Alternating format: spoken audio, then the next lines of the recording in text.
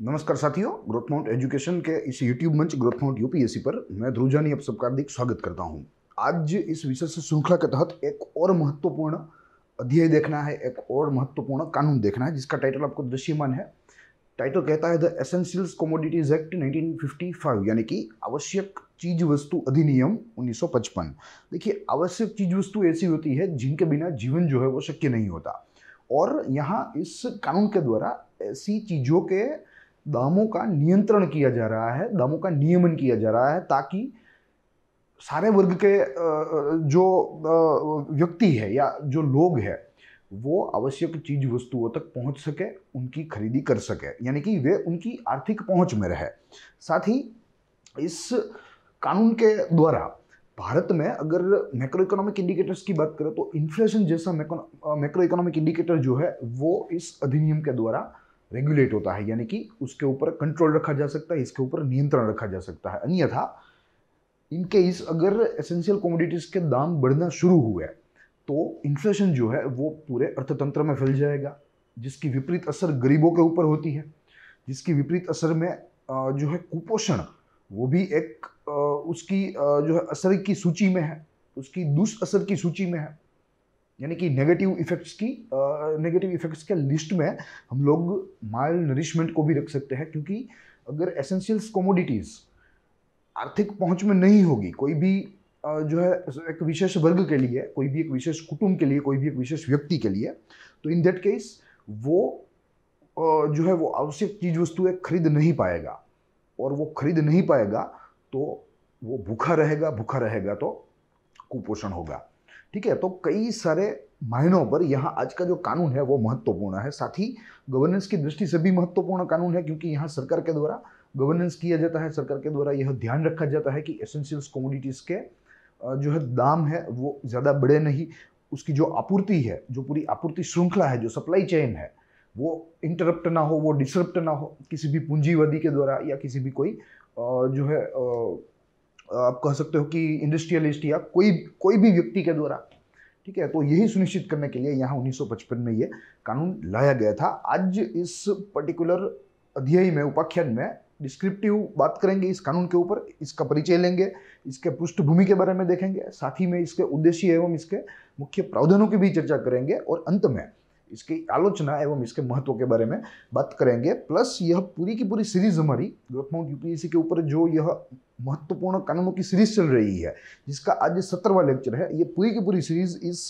Book या इस पुस्तिका के ऊपर आधारित है, जो अपने आप में संधि सेवा के लिए और न केवल मात्र संधि सेवा के लिए, मगर उसके साथ न्यायी संबंधी परीक्षा के लिए और एक गहरी समझ, कानूनों को लेकर एक गहरी समझ, उनके कार्यान्वयन को लेकर, उनकी पृष्ठभूमि को, उनके परिचय को लेकर एक गहरी समझ बनाने में यहाँ ये पुस्तिका में मदद रूप साबित हो रही है। यह पुस्तिका का फ़िलहाल आठवां भाग चल रहा है, जिनमें अर्थतंत्र अर्थ नीति संबंधी जो कोई कानून है, उनका यहाँ ज़िक्र हुआ है। तो मैंने आपको वो एक लिंक दिया कि किस तरीके से एसेंशियल कमोडिटीज का जो कानून है, वो हम अर्थतंत्र के साथ लिंक कर सकते हैं।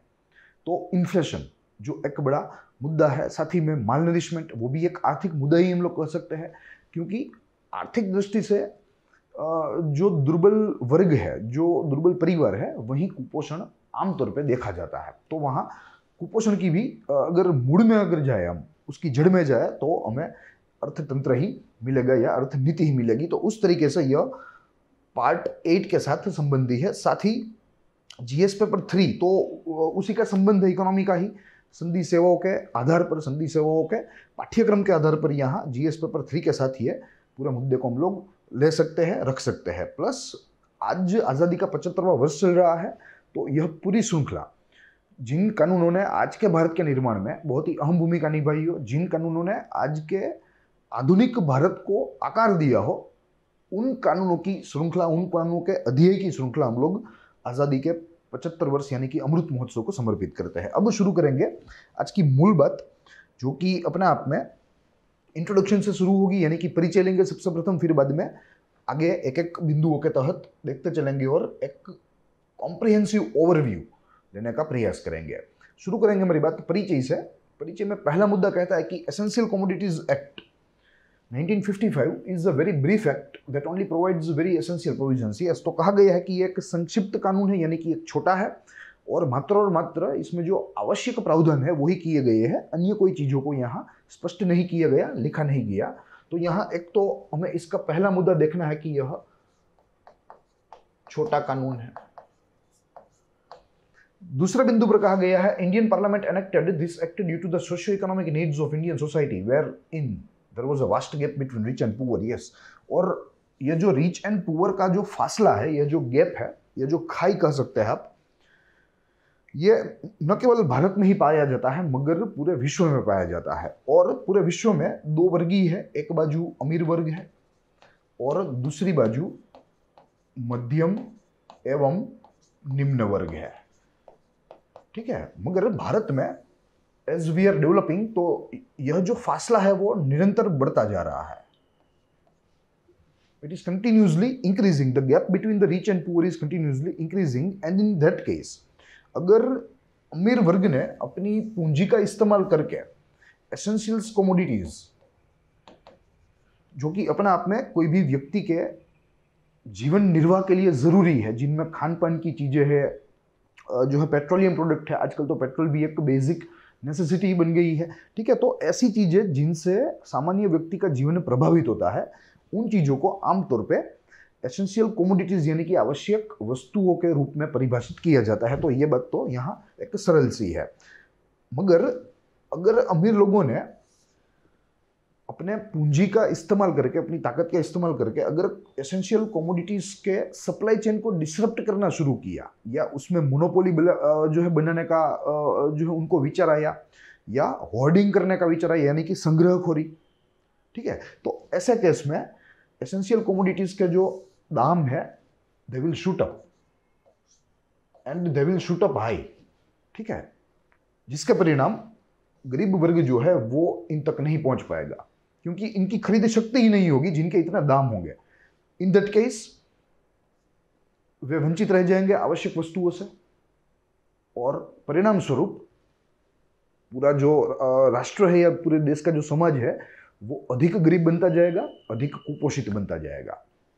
ठीक है तो ऐसा ना हो इसलिए भारतीय संसद ने यह कानून बनाया है, जिसके तहत चाहे वो व्यापारी हो, चाहे वो उद्योगपति हो, जो कोई भी हो उनको नियंत्रण में रखा जा सके in reference to essential commodities ठीक है? एसेंशियल कोमोडिटीज के परचेज में प्रोडक्शन में सेल में सरकार का नियंत्रण है। और ये ज़रूरी है क्योंकि सारे वर्गों तक आवश्यक चीज़ वस्तुएँ जो है वो पहुंचनी चाहिए, किफ़ायती दामों में पहुंचनी चाहिए, मध्यम एवं निम्न वर्ग की आर्थिक पहुँच में वो चीज़ें जो है वो उन तक पहुंचनी चाहिए। तो यही सुनिश्चित करने के लिए एसेंशियल कमोडिटीज एक्ट को सरकार ने पारित किया। उसके पश्चात देखें तो this act has given a very wide powers to the executive whereas the power of court has been limited to a great extent yes तो यहाँ जो एग्जीक्यूटिव है यानी कि इंप्लीमेंटेशन uh, मशीनरी आप कह सकते हैं कि जो अनुकरणीय तंत्र है अनुकरणीय तंत्र उसके ऊपर पूरी ज़िम्मेदारी दे दी गई है और जो अदालतों के जो पावर्स थे, या उनकी जो शक्तियाँ थी, उनको कम कर दिया गया है, उनको सीमित रखा गया है। इस जो है कानून के अच्छे से अच्छे, असरकारक से असरकारक कार्यान्वयन के लिए, यानी कि उसके प्रॉपर एंड इफ़ेक्टिव इंप्लीमेंटेशन के लिए। ये मालूम होना चाहिए, क्योंकि ये अपने आप में एक बहुत ही बेसिक मुद्दा है। कोई भी सरकार हो, उसके मूलभूत तीन अंग होते हैं, या थ्री ऑर्गन्स जिसे हम कहते हैं, जिनमें एक एग्जीक्यूटिव रहता है, एक जो है लेजिस्लेशन या लेजिस्लेटिव रहती है और एक रहती है जुडिशियरी ठीक है तो यहाँ कहा गया है कि एग्जीक्यूटिव के पावर को बढ़ाया गया है, वहीं जुडिशियरी के पावर्स को सीमित या ऐसे ही रखा गया है। फिर उसके पश्चात देखें तो act brought forth with the idea to ensure delivery of certain commodities essential for the daily needs of Indian citizen and also to curb any black marketing of such products इसका अच्छे से अच्छा एग्ज़ाम्पल हम लोग कह सकते हैं कि मिल्क या हम लोग कह सकते हैं कि सीरियल्स जिनमें हम लोग वीट का एग्ज़ाम्पल ले सकते हैं कि कोई भी व्यक्ति, कोई भी व्यापारी अगर गेहूँ का संग्रह करता है, ठीक है सप्लाई चेन को डिस्टर्ब करने का प्रयास करता है, जो दाम है, कीमतें है, ठीक है, उनको जो है एक प्रकार से नियंत्रण करने की कोशिश करता है तो in that case essential commodities will bar such people from doing so from hoarding ठीक है तो यही सारी चीज़ें हैं जो कि यहाँ हमें समझ नहीं हो रही इस तरीके से। यह जो पूरा का पूरा कानून जो है वो कार्य करता है। हालाँकि इसके इम्प्लीमेंटेशन में थोड़ी सी अभी ढील हो रही है, जो कि अपने आप में एक समस्या है और इस समस्या का समाधान हमें जल्द से जल्दी लेना चाहिए। मगर फिर भी up to some extent essential commodities act ने एसेंशियल कमोडिटीज को गरीबों तक पहुँचाया है किफ़ायती दामों में।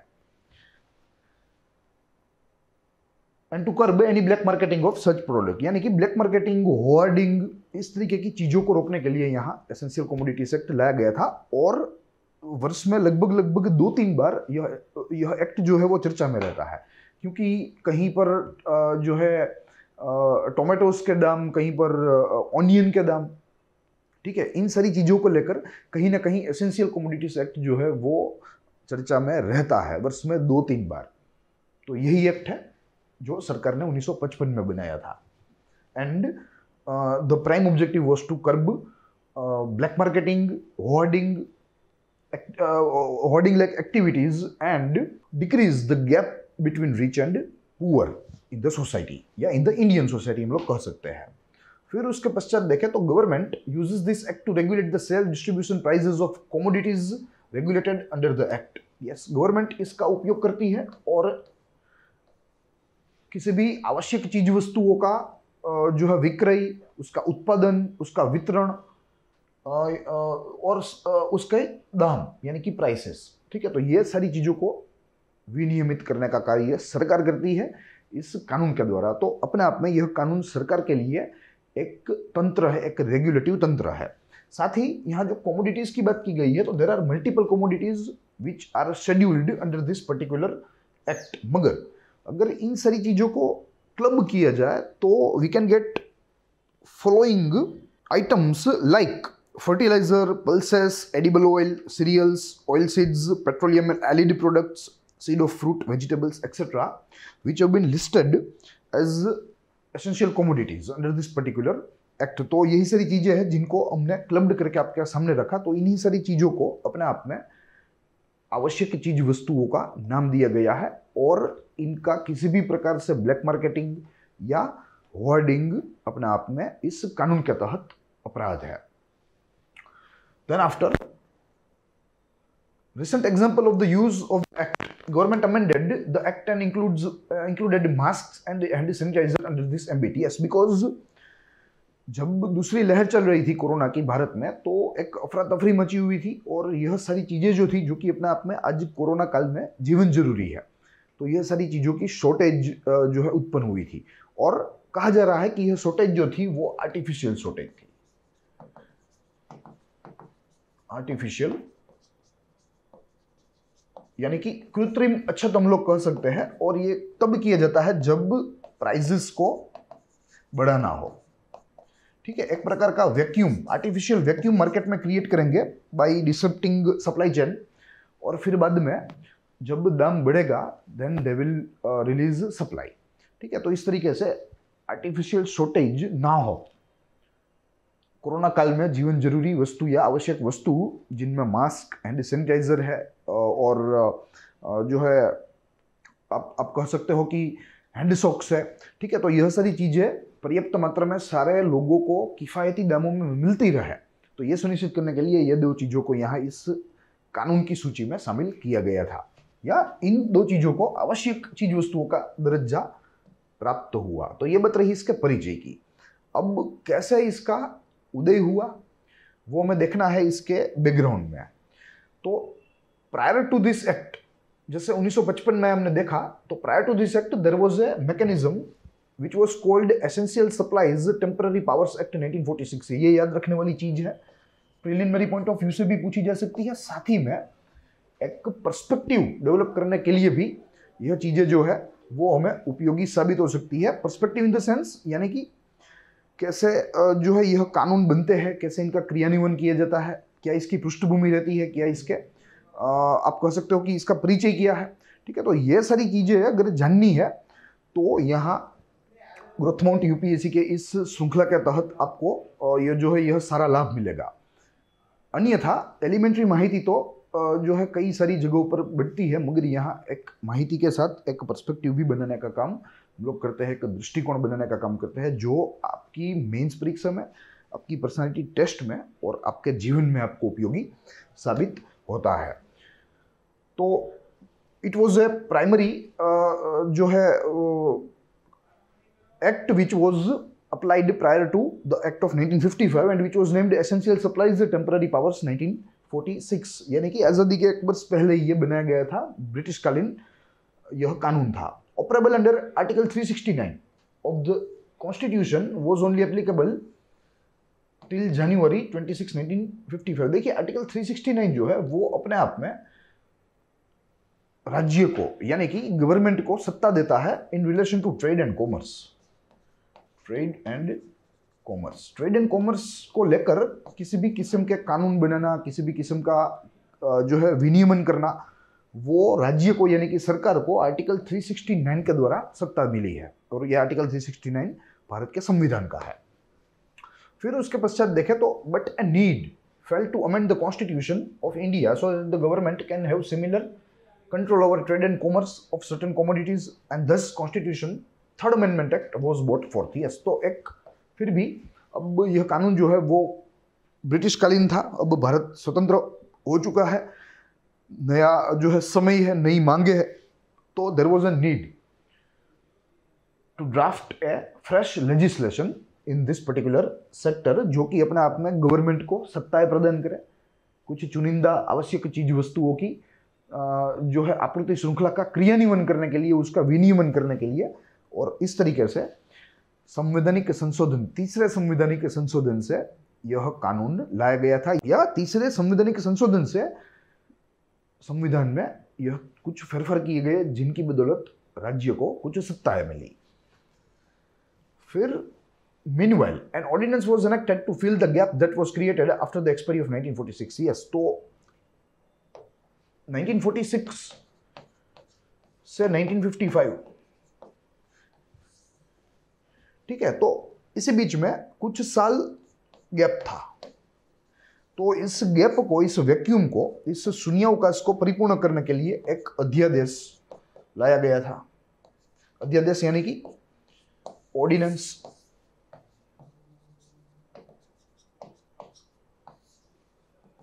as aspirant of civil service one should know what is the meaning of ordinance and what are the characteristic of ordinance जिसकी चर्चा यहाँ करनी योग्य नहीं है। इसलिए मात्र मात्र हम यही समझेंगे कि गैप को भरने के लिए शून्यावकाश को भरने के लिए एक अध्यादेश के तहत एसेंशियल कमोडिटीज एक्ट लागू किया गया था या कुछ इसके प्रावधान जो है वो लागू किए गए थे ताकि उस समय में किसी भी किस्म का जो है कोई ब्लैक मार्केटिंग ना हो कोई होर्डिंग ना हो तो वो सुनिश्चित करने के लिए then finally bill was introduced on similar lines of 1946 Act, which also included certain other commodities. Yes, तो एक बिल जिसका अदर 1946 का बिल ही था, या उसका 1946 का एक्ट ही था, मगर उनमें कुछ अधिक प्रावधान जोड़े गए, कुछ अधिक चीज़ वस्तुओं का को भी उसमें शामिल किया गया, समावेशन किया गया, और एक नया कानून जो है वो लाया गया। तो ये इसके पृष्ठभूमि की बात थी कि इस तरीके से यह कानून जो है उसका उदय हुआ। पहले एक टेम्प्ररी पावर्स नामक कॉलोनियल रूल था 1946 का फिर उसमें से अध्यादेश आया बीच के शून्य अवकाश के समय में, और अंततः एक कानून, नया कानून, जिसका अदर 1946 ही था, मगर उसमें अमेंडमेंट के साथ लाया गया। देन अब इसके कुछ हमें ऑब्जेक्टिव्स देखने हैं, कुछ उद्देश्य देखने हैं, जिन मूलभूत उद्देश्यों के साथ यह कानून को लाया गया था। दो बिंदु है, मुख्यतः जिनमें सबसे प्रथम बिंदु कहता है तो object of the act yeah objective of the act is to regulate trade and commerce in certain commodities which are essential in the sense that they are necessary for a normal course of life of Indian citizen, yes. जिसका ज़िक्र मैंने किया कि आवश्यक चीज़ वस्तु किसे कहा जाता है? तो ऐसी चीज़ वस्तु है जिनसे सामान्य नागरिक का जीवन जो है वो प्रभावित हो या वह प्रभावी हो। तो ऐसी चीज़ों को आवश्यक चीज़ वस्तुएँ कहा जाता है। और ऐसी चीज़ों के ट्रेड एंड कॉमर्स में, यानी कि उसके व्यापार और वाणिज्य में सरकार को सत्ता प्राप्त हो, सरकार को विनियमित विनियमन शक्तियाँ प्राप्त हो तो इस उद्देश्य के साथ यहाँ यह कानून लाया गया था। It is actually regulatory mechanism and it gives regulatory power to the government upon certain essential commodities Then after, it was brought forth specifically after amending the constitution to stop black marketing and have goods in the market which can be accessed at reasonable prices by both rich and poor. Yes, तो संविधान में सुधार किया जो हमने देखा third constitution amendment जिसके तहत आर्टिकल 369 में राज्य को सत्ता दी गई विनियमन सत्ता कह सकते हैं विनियमन सत्ता है और इस तरीके से आवश्यक चीज़ वस्तु है, समाज के सारे वर्गों तक पहुँचे, समाज के सारे वर्गों तक वर्गों तक किफायती दम में पहुँचे, वो सुनिश्चित यहाँ किया गया था। तो ये दो मूलभूत उद्देश्यों के साथ ये कानून लाया गया था। अब बारी है इसके कुछ प्रमुख प्रावधानों की, जिसके तहत यहाँ ये जो है चीज़ें में स्पष्ट होगी और इसका कार्यान्वयन जो है वो भी किया जा रहा है। अध्यायवार इसका जो है विभाजन हुआ है, जिनमें सबसे प्रथम अध्याय में एसेंशियल कमोडिटीज की परिभाषा दी गई है, यानी कि आवश्यक चीज़ वस्तु है। The act does not provide any definition to the essential commodities, but specifies that any commodity enlisted in the schedule of the act is an essential commodity, yes वैसे, प्रत्यक्ष रूप में रूप से इसमें कोई परिभाषा नहीं दी गई है। इसमें आवश्यक चीज़ वस्तुओं की परिभाषा गैर हाजिर है, मगर बेसिकली इस लिस्ट में जो कोई भी चीज़ें इंक्लूड होगी, जो कोई भी चीज़ें ऐड होगी, जिन कोई चीज़ का समावेशन होगा वो अपने में आवश्यक चीज़ वस्तु कहलाएगी।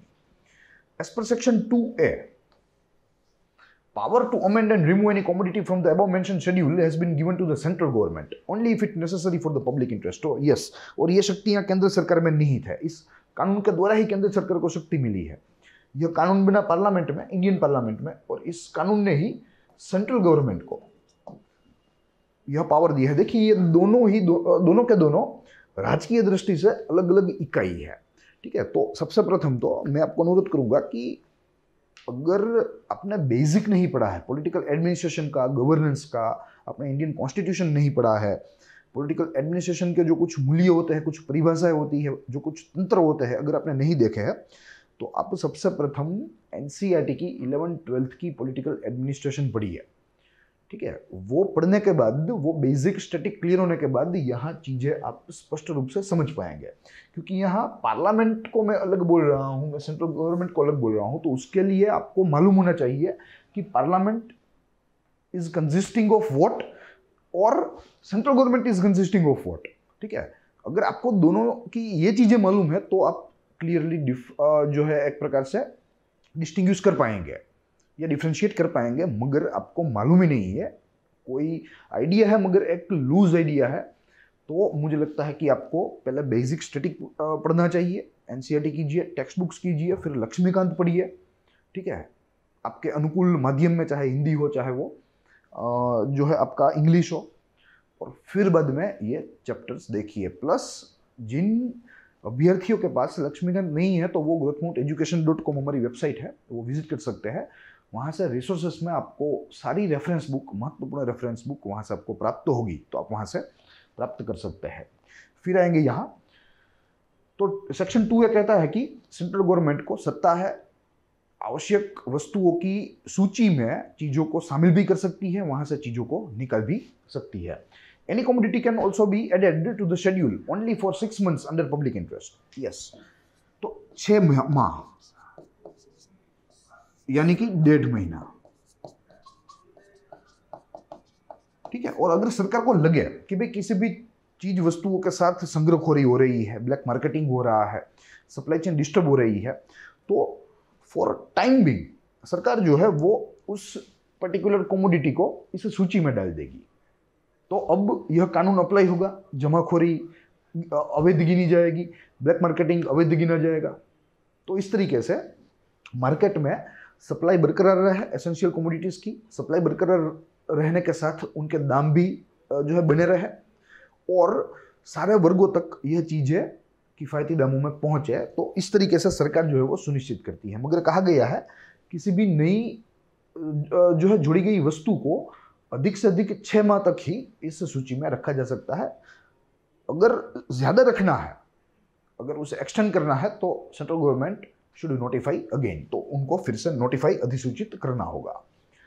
तो ये यहाँ एसेंशियल कमोडिटीज दूसरा जो अध्याय वो कहता है पावर ऑफ़ सेंट्रल गवर्नमेंट यानी कि केंद्र सरकार की शक्तियाँ।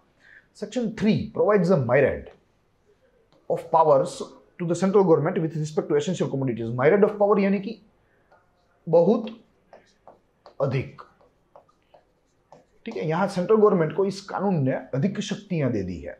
They have power to maintain supply and distribution regulate license and permit control prices prohibit the sale regulate stocks collect information and others as provided in the act so these are the functions which are mentioned in the act to be performed by central government for which government is given a myriad of power इस कार्यों के लिए सरकार को या केंद्र सरकार को काफ़ी सारी शक्तियाँ दी गई है या मिली हुई है देन तीसरे बिंदु पर power of state government central government में इंपोज और delegate any of the duties stated about to the state government by an order as per section four and five yes section three के तहत central government को power है and section four and five के तहत central government जो है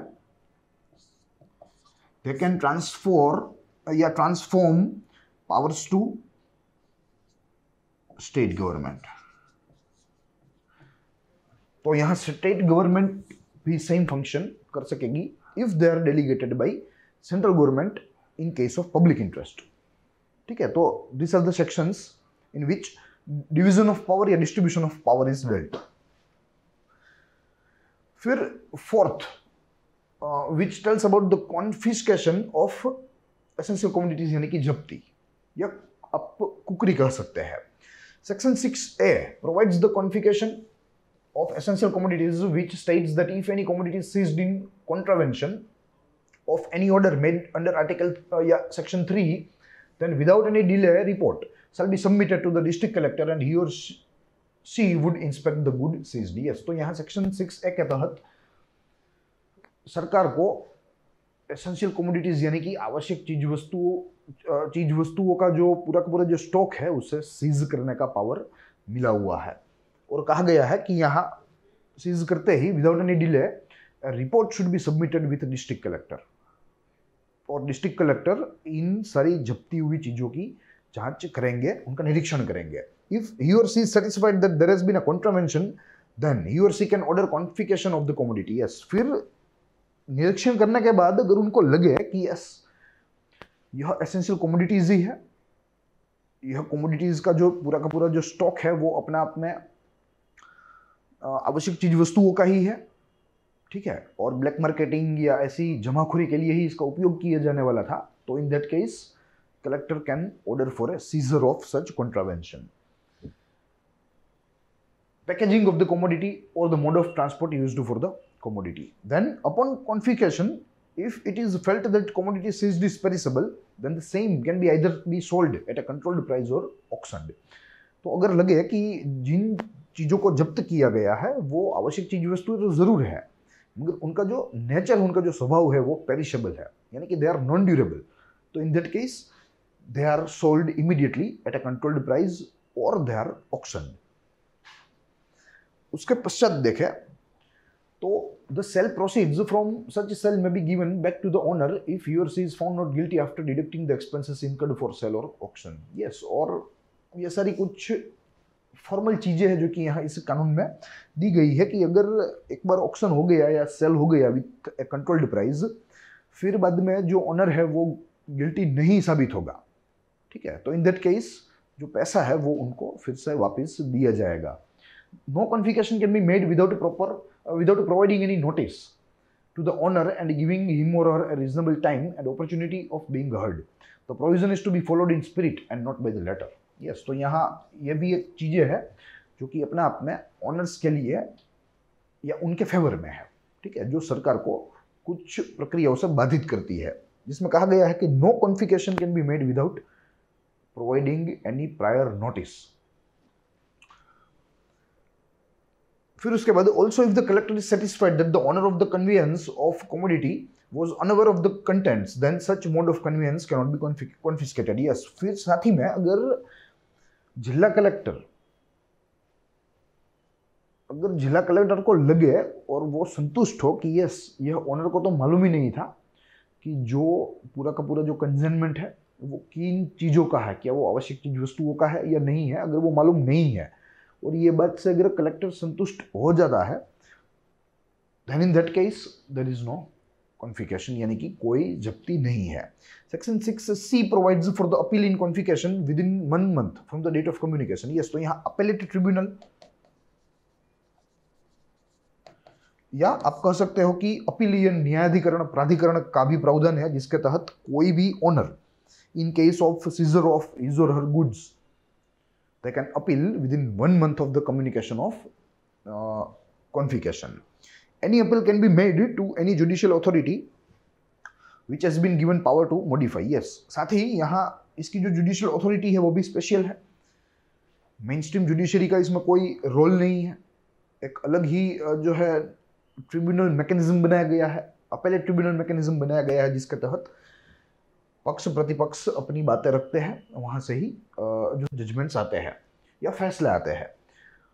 And if the owner is acquitted then your is required to be given back the commodity uh, or a reasonable price as mentioned in the act. Jurisdiction of any court in matters of confiscation has been barred by the provision of section 6E. Yes, तो जो main stream हमारी judiciary है उसको यहाँ से दूरी रखा गया है क्योंकि उनके पास वैसे ही इतना काम है ठीक है वे पेंडेंसी के लोडी के नीचे जो है दबे है वैसे ही हमारे जो मेन स्ट्रीम हमारे जो कोर्ट्स है वो तो इन दैट केस ऐसे मामले उन तक ना जाए और इनका जो प्रोसिक्यूशन है वो एक्सपीडिशियली हो यानी कि गति जो है गति से हो एक प्रकार की या एक, एक स्तर की तो वो सुनिश्चित करने के लिए एक अलग से प्राधिकरण या न्यायाधिकरण बनाने का भी प्रावधान है then Chapter 5 deals with penalties under Section 3. For any contravention of any order under Section 3, any person be punished with imprisonment and fine. Yes, यानी कि उनको जेल भी हो सकती है उनको जुर्माना भी हो सकता है। The act prescribes various punishment for different violation under section seven देखिए सेक्शन थ्री जो है यहाँ केंद्र सरकार को सत्ताएँ दी गई है। केंद्र सरकार यहाँ सूची बना सकती है आवश्यक चीज़ वस्तुओं की। और इन सूची में से कोई भी चीज़ वस्तुओं का कॉन्ट्रावेंशन मिला यानी कि उनका जो पूरा जो स्टॉक है वो मिला। तो in that case that particular owner will be fined and can be imprison to which depends upon the degree of violation made by him or her ठीक है, फिर सेक्शन सेवन में भी एट प्रिस्क्राइब्स वेरियस पनिशमेंट तो section seven में अलग अलग प्रकार की सजाओं का प्रावधान है which depends on the degree of violation फिर सिक्स अध्याय जो है वो कहता है कि cognizable offense and presumptions of guilt every offense under this act has been cognizable overriding the provisions of code of uh, criminal procedure as per section 10a of the act further any person accused under this act shall be presumed to have an intention to do so and the burden of proof will be on defense to negate the same as per section 10c ठीक है तो ये सारी कुछ चीज़ें हैं जो कि इस कानून को थोड़ा कठोर बनाती है और समाज के लिए एक अच्छा वातावरण पैदा करती है। The court have been barred from taking cognizance of any offense punishable under this act unless a report in writing submitted to it either by a public servant or any aggrieved person or any recognize consumer association ठीक है? अन्यथा, हमारी जो court of laws mainstream judiciary है, उनका को उनका कोई रोल यहाँ नहीं रहेगा। साथ ही यहाँ जो बर्डन ऑफ़ प्रूफ है, ये भी एक महत्वपूर्ण मुद्दा है, वो भी डिफेंस के ऊपर है, ठीक है? एजेंसीज के ऊपर नहीं है those are enforcing but it is on the owner who is defending him or herself ठीक है? तो यहाँ बर्डन ऑफ़ प्रूफ भी किसी भी अक्यूज के ऊपर है। तो ये सारी चीज़ें इस कानून को कठोर बनाती है, जिसके तहत जो पूंजीवादी है, वे डरेंगे और ऐसी आवश्यक चीज़ वस्तुओं की जो आपूर्ति श्रृंखला है, उसे इंटरप्ट नहीं करेंगे। फिर उसके बाद देखें the power of courts have been taken to such extend that no civil court can pass any injunction or other relief against the central government or state government or any person authorise to do so यानी कि कुछ सत्ताएँ जो है main stream judiciary को वो कम दी गई है, कुछ ज़्यादा खास दी नहीं गई। Then prosecution of public servant this के this act I am sorry also provide for the prosecution या prosecuting public servant accused under this act while discharging duties in pursuance of an order made under section 3 the public servant so accused cannot be prosecuted for any offense except before receiving a sanction from his employer that is either the central government or state government as the case may be यानी कि अगर public servant इस कानून के कार्यान्वयन का जिसके ऊपर जिम्मा है अगर वो पब्लिक सर्वेंट वो ब्यूरोक्रेट इस कानून के तहत इनके प्रावधानों को सफलतापूर्वक अनुपालन नहीं करवा सकता या नहीं करवाता है तो in that case he is fined to उसके ऊपर भी जो मुकदमा है वो चलेगा प्रोसिक्यूशन चलेगा। तो ये सारी चीज़ें थी जो कि यहाँ हमें इस कानून में देखनी थी। जैसे मैंने शुरुआत में बताया था कि इट इज़ अ ब्रीफ यानी कि यह एक संक्षिप्त कानून है, मात्र और मात्र जो आवश्यक प्रावधान है, वही दिए गए हैं। अब यहाँ अमेंडमेंट की बात करें तो अमेंडमेंट काफ़ी सारी बार हुआ है इस कानून में मगर सबसे प्रथम अमेंडमेंट तो 1957 में ही हो गया था लागू हुआ 1955 में दो वर्ष बाद ही इसमें पहला अमेंडमेंट जो है वो आ गया था and which was in the year 1957 Various amendments of the Act have been focused on increasing the power of, of the executive and ensuring proper implementation of the provisions while holding the objective of the Act. Yes, तो जितने संशोधन इस कानून में हुए प्रति संशोधन का यही उद्देश्य था कि उसने जो एग्जीक्यूटिव है, जो कि इस कानून का अनुपालन करवाती है, अनुकरण करवाती है, उसे सुदृढ़ बनाने का कार्य किया, ताकि इस कानून के द्वारा प्रस्थापित उद्देश्यों को प्राप्त किया जा सके। तो सारे के सारे संशोधनों ने बेसिकली यही कार्य किया है, इस कानून को मज़बूत बनाया है, इस कानून का अनुपालन करवा, करने वाली जो एग्जीक्यूटिव है, उसे भी मज़बूत बनाया है। तो ये कुल मिलाकर इसके अमेंडमेंट की बात है। अब लास्ट स्लाइड है इस उपाख्यान की, जिसके तहत हमें क्रिटिसिज्म एवं इसके इंपोर्टेंस के बारे में बात करनी है। देखिए, ये पोर्शन जो है वो आज के इस उपाख्यान में सबसे महत्वपूर्ण है, क्योंकि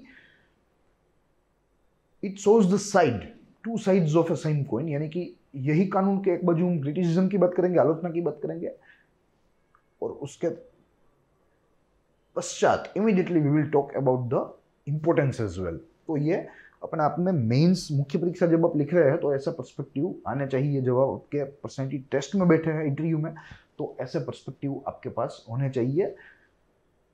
आपका जो व्यू पॉइंट है, वो न्यूट्रल रहना चाहिए। It neither should be lean towards criticism and nor towards importance देखेंगे सबसे प्रथम act has been regarded as a major hurdle in the growth of the agriculture sector in India India due to certain provisions like stockholding limits etc. Yes, stockholding नहीं होगा तो perishable goods जो है उसका उत्पादन भी क्रमशः कम होगा मगर अगर स्टॉक कैपेसिटी है हमारे पास स्टॉक करना वैद्य है तो प्रोडक्शन जो है वो भी ज़्यादा होगा तो ये एग्रीकल्चर सेक्टर के लिए अपने आप में उसके उत्पादन के लिए उसकी जीडीपी के लिए अपने आप में एक हानिकारक माना जाता है। ये इसकी प्रथम आलोचना है। दूसरा बिंदु कहता है, आलोचनात्मक बिंदु participants of the agriculture sector who complaint about the harassment the face at the ends of the authority now the focus is on deregulating certain commodities part of the act to increase export and develop the agri industry yes तो यहाँ होता क्या है कि जो agriculture sector में जुड़े हुए जो व्यवसायी है, उनको इन अधिकारियों से ऐसी एजेंसी यानी कि ऐसी, ऐसे प्राधिकरणों के जो एक प्रकार से आतंक का एक प्रकार से त्रास का सामना करना पड़ता है। Face is it is clearly written here क्योंकि कुछ प्रावधान ही ऐसा है इस कानून में। इस कानून ने शक्तियाँ ही ऐसी दी है। ठीक है? तो इन दैट केस अब बात चल रही है। विचार हो रहा है सरकारी स्तर पर, जहाँ नीति निर्माण होता है जहाँ कानूनों को घड़ा जाता है, वहाँ फ़िलहाल विचार हो रहा है कि कुछ चीज़ वस्तुओं को इसमें से डिरेगुलेट किया जा सके, यानी कि जो एसेंशियल कम्युनिटीज की जो सूची है उनमें से निकाला जा सके, ताकि उनका प्रोडक्शन भी बढ़े, उनका स्टॉक भी हो सके, उनका एक्सपोर्ट भी बढ़े और अल्टीमेटली पूरी की पूरी जो पूरा का पूरा जो हमारा सेक्टर है एग्रीकल्चर का, उसे फ़ायदा मिले। तो ये बात यहाँ चल रही है तो कुल मिलाकर ये दो इसके मुख्य आलोचनात्मक बिंदु है, जिनमें सबसे प्रथम एग्रीकल्चरल सेक्टर के लिए हानिकारक है क्योंकि स्टॉक नहीं होता है। स्टॉक नहीं होता तो प्रोडक्शन कम होता है। और दूसरा एग्रीकल्चरल सेक्टर के प्लेयर्स को इन अधिकारियों से, इन एजेंसियों से हेरासमेंट का सामना करना पड़ रहा है। और अल्टीमेटली एग्रीकल्चर सेक्टर ही इसमें जो है घाटे में है। तो यहाँ ये दो चीज़ों को सुनिश्चित करनी है हमें। फिर इंपॉर्टेंस की बात करें तो तीन बिंदु है जिनमें सबसे प्रथम बिंदु कहता है act is helpful in checking in in keeping a check on traders who indulge in hoarding and to try to keep an artificial shortage of supply in the market to sell the goods at exceptionally high price. तो ये एक phenomena है, बहुत ही simple phenomena है। Supply chain को disturb करे supply को कम करे। तो डिमांड एंड सप्लाई का जो बेसिक लो है वो लागू होगा। If supply will come down then the prices will shoot up then the prices will go up तो इसका लाभ यहाँ लिया जा रहा है। और जब प्राइजेस बढ़ेंगी, तब वे धीरे धीरे सप्लाई शुरू करेंगे so that they can sell particular commodities at exceptionally high price तो यह होर्डिंग यानी कि जमाखोरी को बंद करना ब्लैक मार्केटिंग को बंद करना ये इस कानून का मुख्य उद्देश्य था और काफ़ी हद तक इसने ये प्राप्त भी किया है Then Act provides for stock and turnover limits on various essential items. Yes, कुछ एसेंशियल आइटम्स में सरकार ने स्टॉक एंड टर्नओवर लिमिट्स भी रखी है कि भाई पर्टिकुलर टाइम पीरियड में आप इतने से ज़्यादा टर्नओवर नहीं करें, नहीं कर पाएँगे पर्टिकुलर स्टॉक में। इतने से ज़्यादा स्टॉक नहीं कर पाएँगे पर्टिकुलर कमोडिटी में। ठीक है तो ये कुछ प्रावधान है जो कि अपने आप में थोड़े फ़ायदेमंद है। आवश्यक चीज़ वस्तुओं के दामों को, उनकी आपूर्ति को बनाए रखने में सरकार को मदद रूप साबित हो रहे हैं। तो ये इसका दूसरा महत्व का बिंदु है। तीसरा और आखिरी बिंदु कहता है कि by this act state government has penalized traders for hoarding goods like rice wheat sugar which are very essential और अगर इन चीज़ों का स्टॉक होगा तो इनके दाम बढ़ेंगे दाम बढ़ेंगे तो सामान्य वर्ग, निम्न वर्ग इन तक पहुँच नहीं पाएँगे। पहुँच नहीं पाएँगे तो वे भूखे रहेंगे भूखे रहेंगे तो कुपोषण। ठीक है तो यह सारी चीज़ों को एक ही झटके से यहाँ एसेंशियल कमोडिटीज एक्ट खत्म करने की बात करता है और कहता है कि सारे समाज को आवश्यक चीज़ वस्तु है, किफ़ायती दाम में मिलनी चाहिए। तो यही सारी चीज़ें थी जो आज मैं यहाँ आपको बतानी थी। I hope you the lecture ये तो बात रही यूट्यूब के वीडियो की जो आपने देखा। आई होप आपको अच्छा लगा होगा, मगर अगर चीज़ों को आपको पढ़ना है in the form of blog तो आप growth mount education dot com हमारी वेबसाइट विज़िट कीजिए, आज ही विज़िट कीजिए और वहाँ से चीज़ों को ब्लॉग फॉर्म में पाइए। प्लस अन्य एग्जामिनेशन रिलेटेड रिसोर्स भी आप वहाँ से डाउनलोड कर सकते हैं।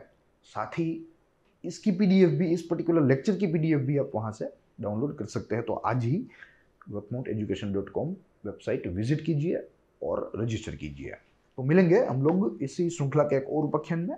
तब तक के लिए दीजिए इजाज़त। देखते रहिए ग्रोथ माउंट यूपीएससी साथ ही आप कमेंट कर सकते हैं। आपके सजेशंस आपके कॉम्प्लीमेंट्स आपके कोई प्रश्न है, आपके कोई डाउट्स है हम आपको उत्तर देने का प्रयास करेंगे। तो मिलते हैं, तब तक के लिए जय हिंद।